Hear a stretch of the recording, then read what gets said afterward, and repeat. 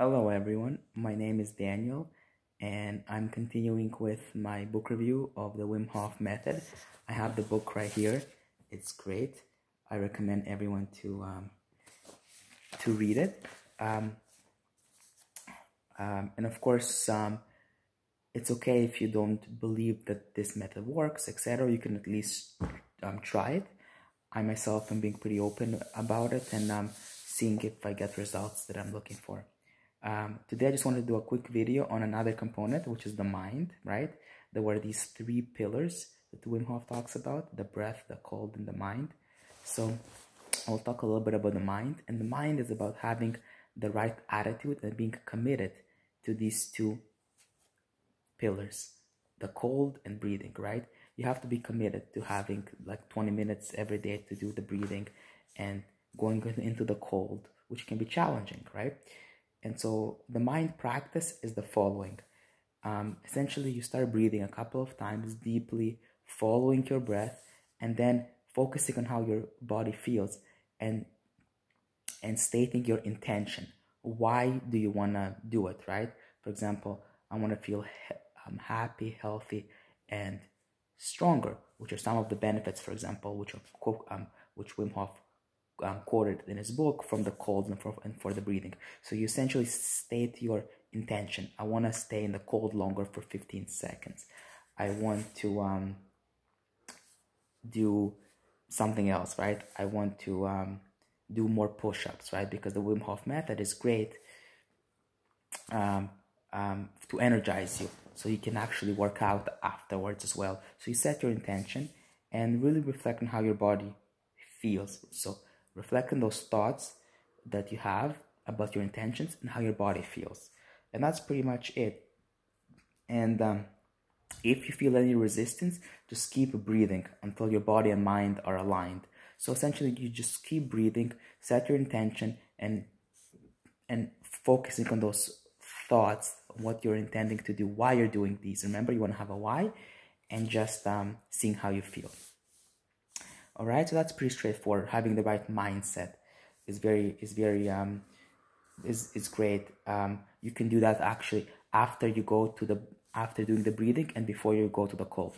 You can you can do this very quick exercise okay? Take like five six breaths follow your intention etc right?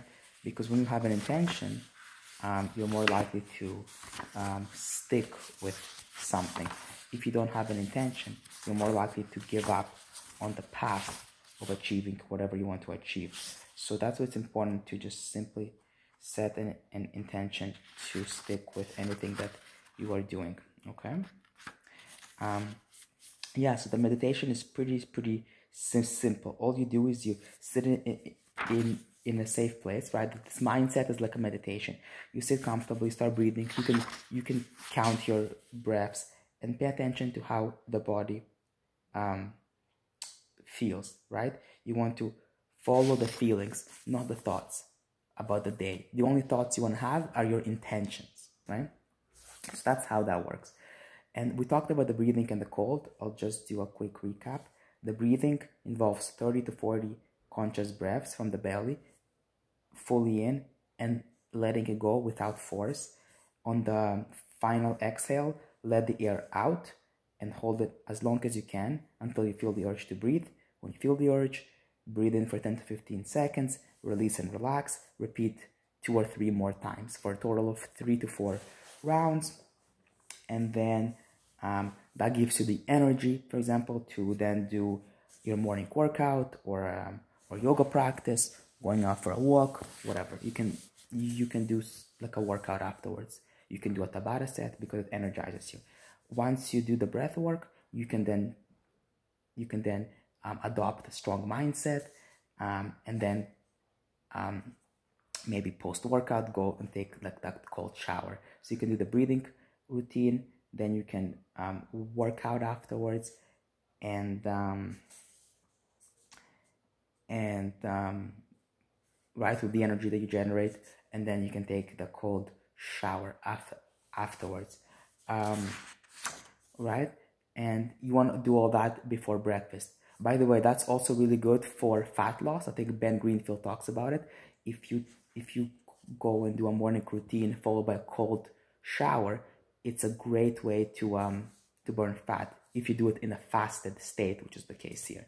So that's kind of like an extra benefit, completely unintended, but that also has the benefit of um of it's good for fat recycling as well.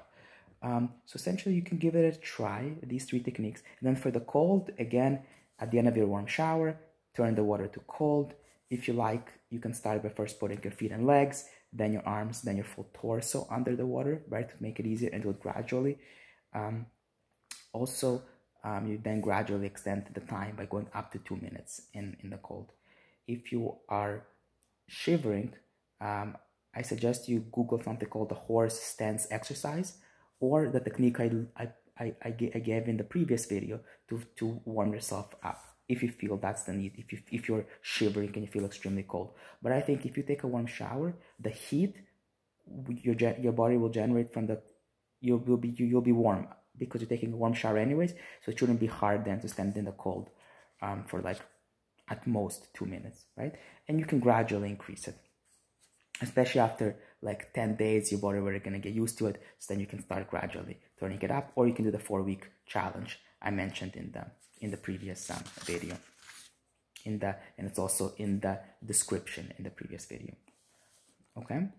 The last thing i just want to mention is do not do the wim hof basic breathing exercise while standing in the shower right? You want to do the breathing before the shower not while standing in the shower in the shower, you just want to simply be relaxed, not think about anything, follow your breathing, but don't do the breathing exercise while you're in the cold shower. Not a good place to do it.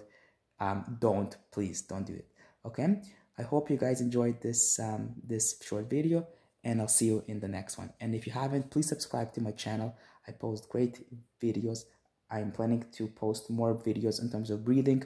Um, I want to buy um, some great books like The Oxygen Advantage by Patrick McGowan, etc.